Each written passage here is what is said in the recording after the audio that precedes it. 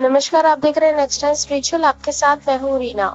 सूर्य देव सफलता, सेहत, आत्मविश्वास, नेतृत्व, क्षमता देते हैं। सूर्य देव की पूजा करने से व्यक्ति को खूब सफलता मिलती है, आरोग्य मिलता है। हिंदू धर्म में सूर्य को अर्घ देना, सूर्य की पूजा करना बेहद शुभ माना जाता है।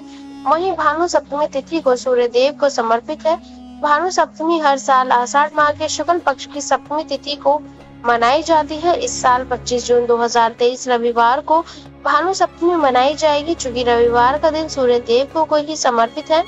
ऐसे में भानु सप्तमी के दिन, रविवार के दिन पढ़ने से इसका महत्व और भी बढ़ गया है। भानु सप्तमी के दिन किए गए उपाय सूर्य देव की अपार कृपा दिलाते हैं। इससे जीवन में बड़ी सफलताएँ मिलेंगी।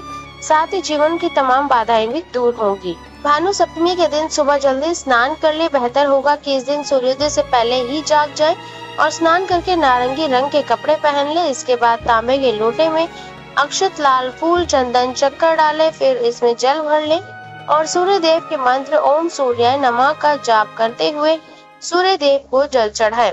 ऐसा करने से सूर्य देव जल्दी प्रसन्न होते हैं। भानु सप्तमी की सुबह सूर्य को अर्घ देने के बाद आदित्य हृदय स्रोत का पाठ ज़रूर करें, इससे सूर्य देव की कृपा प्राप्त होती है। भानु सप्तमी के दिन सूर्य देव का आशीर्वाद पाने के लिए सूर्य देव की पूजा करने के बाद लाल कपड़े, गेहूँ, तांबा, गुड़ आदि चीज़ों का दान करना चाहिए। गरीब ब्राह्मण को सूर्य से जुड़ी चीज़ों का दान करना कुंडली में सूर्य को मज़बूत करता है।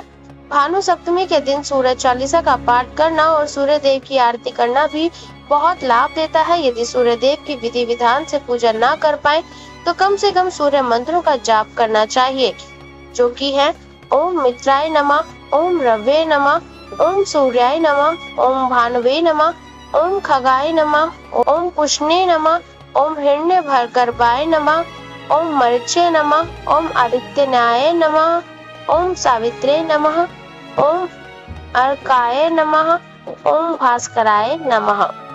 आप इन मंत्रों का जाप भी कर सकते हैं। अगर आपको हमारी ये जानकारी अच्छी लगी हो तो कमेंट करके ज़रूर बताएँ। वीडियो को लाइक और शेयर करना ना भूलें।